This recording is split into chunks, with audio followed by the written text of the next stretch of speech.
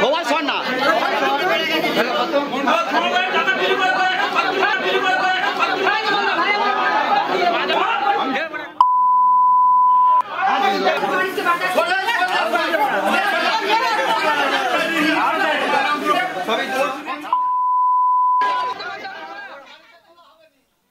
টাকা নিয়ে বিজেপির জয়ী প্রার্থীদের কিনতে এসেছেন তৃণমূল নেতা। আর তাই হাতে নাতে ওই ব্যক্তিকে বেঁধে রেখে নাকি চর থাপ্পড় মারল বিজেপি কর্মী সমর্থকেরা। দশই আগস্ট থেকে গ্রাম পঞ্চায়েত বোর্ড গঠন শুরু হবে।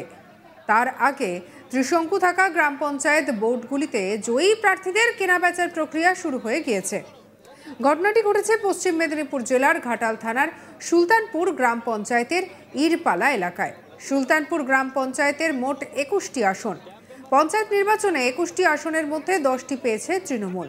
দশটি বিজেপি এবং একটি নির্দল, অর্থাৎ ত্রিশঙ্কু হয়েছে পঞ্চায়েত নির্বাচনের ফলাফল।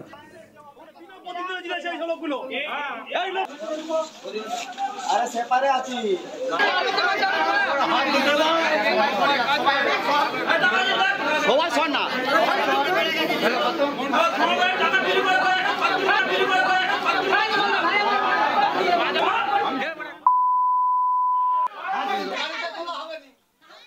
তৃণমূলের বোর্ড গঠন করতে নির্দল সহ বিজেপির জয়ী প্রার্থীদের তৃণমূলের যোগদানের জন্য অনেকদিন ধরেই তৃণমূল চেষ্টা চালাচ্ছে বলে দাবি বিজেপির।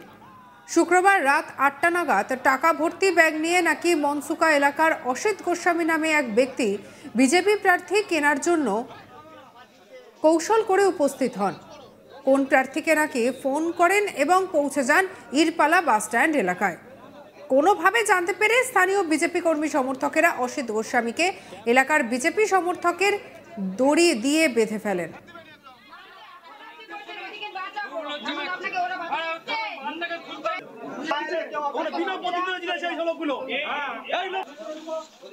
ব্যাগ ভর্তি টাকা নিয়ে বিজেপি জয়ী প্রার্থীদের কিনতে এসেছেন ওই তৃণমূল নেতা। অভিযোগ তুলে বিক্ষোভ দেখাতে শুরু করেন তারা।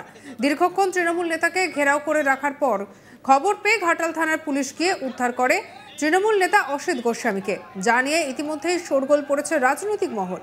তবে তৃণমূলের দাবি, ধৃত ব্যক্তি তৃণমূলের নাকি কেউই নন।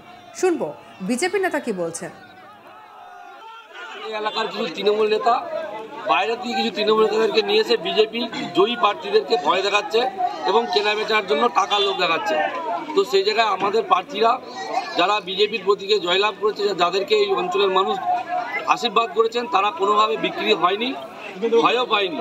তো সেই জায়গায় আমরা কিছুদিন আগে বলেছিলাম যে শঙ্কর দলের মতো নেতা আমাদের প্রার্থীদেরকে ভয় দেখাচ্ছে, লোভ দেখাচ্ছে, তার কল রেকর্ডও আছে আমাদেরকে, আমাদের কাছে।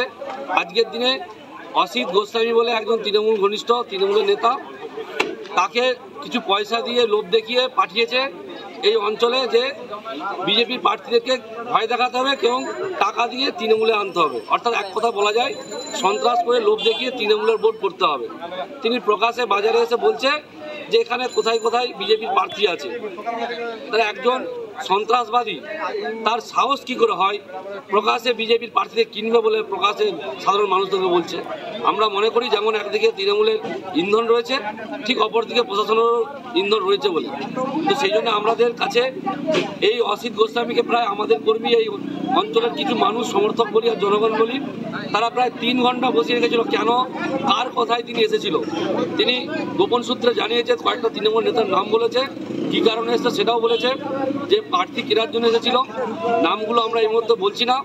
তো পুলিশের সামনে আমরা বলেছি যে, আমাদের কাছে যেটুকু খবর আছে যে, তৃণমূল তো সন্ত্রাস করে করছেই।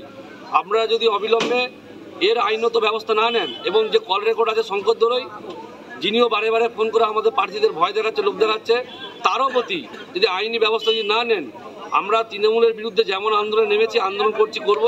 প্রয়োজন হলে প্রশাসনের বিরুদ্ধে আন্দোলনে নামবো। ঘটনাকে কেন্দ্র করে চাঞ্চল্য ছড়ায়। টাকা নিয়ে বিজেপি জয়ী প্রার্থীদের কিনতে এসেছেন তৃণমূল নেতা। আর এই খবর প্রকাশ্যে আসতেই রীতিমতো এলাকায় সরগরম হয়ে ওঠে পরিস্থিতি।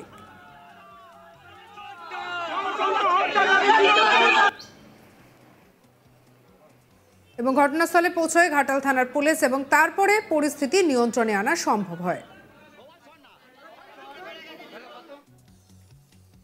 পরবর্তী আপডেটের জন্য সঙ্গে রাখুন আজ তাক বাংলার ইউটিউব চ্যানেলকে। আপনার মতামত জানান কমেন্ট সেকশনের অন্যান্য খবরের জন্য লাইক, শেয়ার করতে ভুলবেন না।